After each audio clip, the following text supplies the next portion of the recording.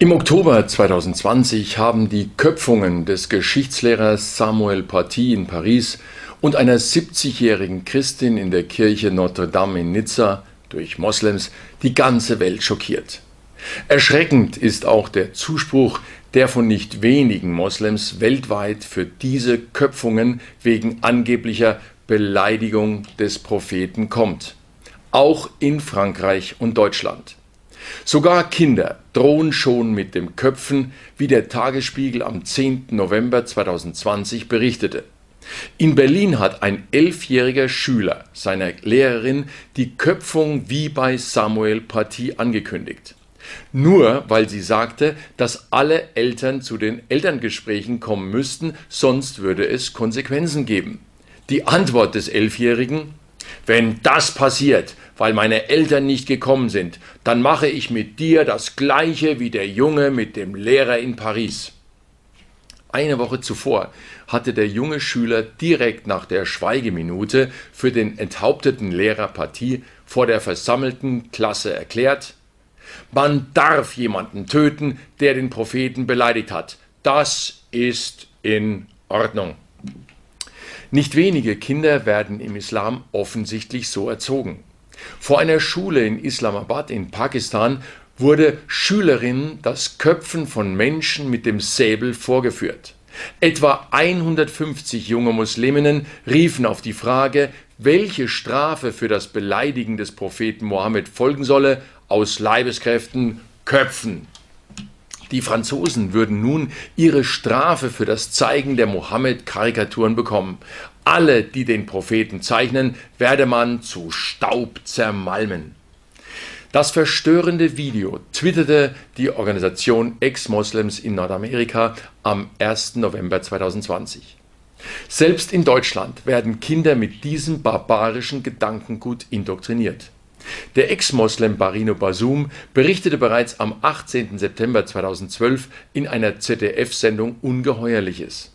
So habe ihm ein 13-jähriger Junge in einer Moschee erzählt, dass ein Imam aus Bonn ihm und weiteren Kindern bei einem Vortrag die Anweisung gab, Besorgt euch kleine Küken und hackt ihnen die Köpfe ab, denn es wird eine Zeit kommen, da werdet ihr so den Juden die Köpfe abschlagen vom Koran gedeckt.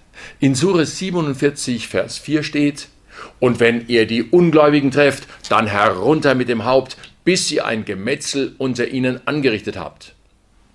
Und in Sure 8, Vers 12, als dein Herr den Engeln offenbarte, ich bin mit euch, festigt drum die Gläubigen. Wahrlich, in die Herzen der Ungläubigen werfe ich Schrecken. So haut ein auf ihre Hälse und haut ihnen jeden Finger ab. Der palästinensische Islamwissenschaftler Sheikh Issam Amira sagte Ende Oktober 2020 während seines wöchentlichen Unterrichts in der Al-Aqsa-Moschee auf dem Tempelberg in Jerusalem, der drittwichtigsten Moschee des Islams, es ist eine große Ehre für die tschetschenische Jugend, den Französischlehrer Samuel Paty zu enthaupten, und es ist auch eine große Ehre für alle Moslems. Im Weiteren bestätigte er, dass im Islam die Terrorisierung von Feinden erlaubt sei. Der Vortrag wurde am 29. Oktober 2020 auf dem YouTube-Kanal von Al-Aqsa Call veröffentlicht. In Frankreich gab es schon vor dem Horror-Oktober 2020 zwei Köpfungen. Am 26. Juli 2016 wurde der 85-jährige Priester Jacques Hamel von zwei algerischstämmigen Moslems vor dem Altar seiner Kirche in Saint-Étienne-du-Rouvray in der Normandie enthauptet. Einen anderen Christen verletzten die Moslems durch Messerschnitte am Hals schwer, er schwebte lange in Lebensgefahr und überlebte nur mit viel Glück. Am 27. Juni 2015 überfielen zwei muslimische Attentäter eine Gasfabrik im Industriegebiet von Saint-Quentin-Falafier bei Lyon. Die Fabrik gehört dem US-Konzern Air Products, deren Chef Saifi Ghasemi stammt aus dem Iran. Das schiitisch geprägte Land ist ein Gegner des sunnitischen islamischen Staats. Ein Attentäter fuhr mit einem Lieferwagen gegen auf dem Gelände gelagerte Gasflaschen, was eine große Explosion auslöste. Dabei rief er Allahu Akbar. Der andere Attentäter köpfte den Chef einer Transportfirma, der gerade eine Lieferung brachte, und spießte den Kopf an den Gitterzaun der Fabrik auf. Dann beschmierte er ihn mit arabischen Inschriften. Daneben hängte er zwei schwarze Dschihad-Flaggen, auf denen religiöse Bekenntnisse ebenfalls in arabischer Schrift standen. Im Artikel der Welt dazu heißt es, Filme und Fotos auf sozialen Netzwerken zeigen immer wieder die Köpfe von Enthaupteten wie Kriegstrophäen auf Pfählen aufgespießt oder an Klinken von Hauseingängen befestigt. Das Köpfen hat im politischen Islam seit seiner Begründung vor 1400 Jahren ein durchgehendes System und wurde von seinem Stifter, dem Propheten Mohammed, auch so vorgelebt. Am 4. September 624 ließ Mohammed den Dichter Kab ibn al-Ashraf, einen der Anführer des jüdischen Stammes Banu an-Nadir, hinrichten. Dieser war sein Widersacher und verfasste Schmähgedichte über ihn und seine neue Gemeinde. Der Prophet soll seinen Anhängern befohlen haben, Wer erlöst mich von Kab ibn al-Ashraf, denn er hat Allah und seinen Propheten gekränkt. Mohammeds Getreue folgten seinem Ruf, töteten den Dichter, trugen seinen abgetrennten Kopf zu Mohammed und riefen dabei Allahu Akbar. Mohammed unterbrach sein rituelles Nachtgebet und rief ebenfalls Allahu Akbar. Dieser Meuchelmord gilt für konservative islamische Theologen als Vorbild für die Ermordung der Kritiker und der Beleidiger des Propheten. Ibn Ishaq, der bekannteste Biograf Mohammeds, hat eine ausführliche Beschreibung der Massenköpfung des jüdischen Stammes der Banu Qurayza überliefert.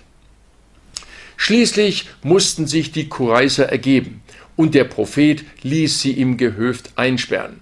Sodann begab er sich zum Markt von Medina und befahl, einige Gräben auszuheben.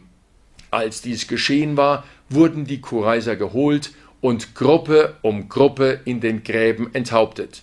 Insgesamt waren es sechs oder siebenhundert Männer. Einige behaupten sogar, es seien zwischen acht und neunhundert gewesen. Diese von Mohammed befohlenen Massenenthauptungen der Banu Qurayza fanden im Jahre 627 in Yathrib statt, jenem Dorf, das später Medina genannt wurde. Medinat al-Nabi bedeutet Stadt des Propheten. Mohammed wohnte dem Massaker übrigens bis zum Ende bei. Fundamentale Moslems, auch die ganz Radikalen, die Terroristen und die Kopfabschneider wollen sich möglichst genau am authentischen Leben Mohammeds aufgezeichnet von Ibn Ishaq, orientieren. In der 1400-jährigen kriegerischen Eroberungsgeschichte des politischen Islams wurden häufig Massenköpfungen durchgeführt. Der Cicero berichtet in seinem Artikel Kopf ab im Namen Allahs, dass im maurischen Spanien die abgeschlagenen Köpfe von Christen zu sogenannten Schädelminaretten aufgestapelt worden seien. Nach der Schlacht auf dem Amselfeld hätten die osmanischen Henker vor dem Hintergrund der vielen tausend christlichen Gefangenen den türkischen Sultan gebeten, die aufwendige Methode des Enthauptens doch durch die kraftsparendere des Kehledurchschneidens ersetzen zu dürfen. Barbour, im 16. Jahrhundert der Gründer des Reiches der muslimischen Großmogulen auf dem Gebiet des heutigen Indien, habe in seiner Autobiografie Barburnama über den Krieg gegen Ungläubige berichtet. Jene, die überlebt haben, wurden geköpft, und dann ließ ich einen Turm mit ihren Schädeln in meinem Lager errichten. Die Radikalmoslems vom Islamischen Staat zelebrierten das Köpfen wie einen Gottesdienst. In aufwendig produzierten Videos mit religiösem Singsang unterlegt ist das Köpfen hunderter Nicht-Moslems dokumentiert. Und das Köpfen geht ständig weiter. Der Spiegel meldet ganz aktuell am 9. November 2020, dass im Norden Mosambiks radikale Moslems, die dem islamischen Staat nahestehen sollen, 50 Menschen geköpft haben.